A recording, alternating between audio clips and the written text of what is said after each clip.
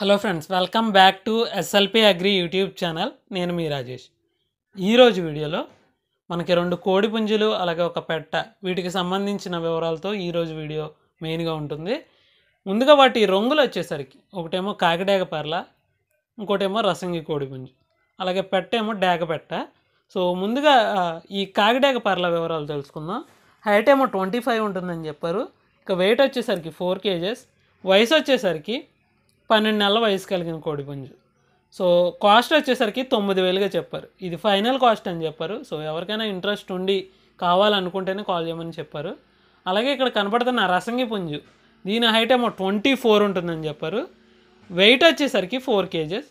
అలాగే కాస్ట్ వచ్చేసరికి ఇది కూడా తొమ్మిది వేలు చెప్పారు. వయసు ఏమో పన్నెండు నెలల వయసు కలిగిన కోడిపుంజు. దీని కాస్ట్ కూడా ఫైనల్ కాస్ట్ అని చెప్పారు.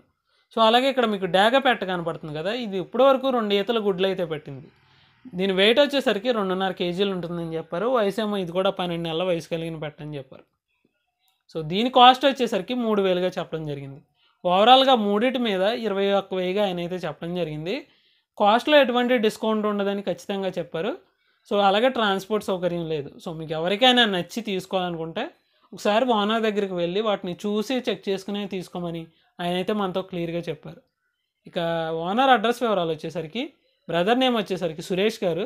ఇంది తూర్పు ఇంది ఇది వచ్చేసరికి వెస్ట్ గోదావరి నిడదవోలు దగ్గర కోరిమావుడి ఏరియా అని చెప్పారు. సో అడ్రస్లో మీకు ఏదైనా డౌట్స్ ఉంటే ఒకసారి కాంటాక్ట్ నెంబర్ అనేది ఇవ్వడం జరుగుతుంది.